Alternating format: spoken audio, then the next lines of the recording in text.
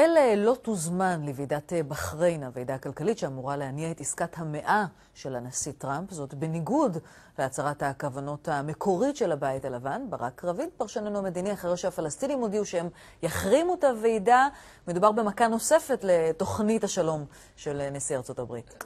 כן, טלי, ללא ספק, בכירים בממשל האמריקאי אמרו לי שהבית הלבן החליט לא להזמין את שר האוצר כחלון או כל נציג אחר של ממשלת ישראל לוועידה בבחריין.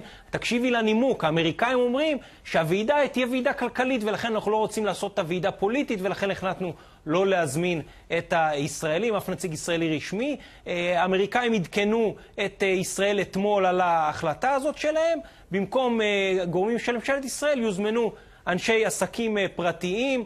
בכל מקרה, טלי, הדבר הזה הוא מכה קשה לכל תוכנית השלום של טראמפ, במיוחד לוועידה הכלכלית בבחריין. האמריקאים קיוו לנצל את האירוע הזה גם כדי לקרב בין ישראל לבין מדינות המפרץ. במקום זה, הלחץ שהפלסטינים הפעילו בסוף הצליח. הפלסטינים יכולים לסמן לעצמם הישג די משמעותי. אגב, אתמול ישראל כץ, שר החוץ, אמר לגיל תמרי שלנו בניו יורק שישראל כן תשתתף.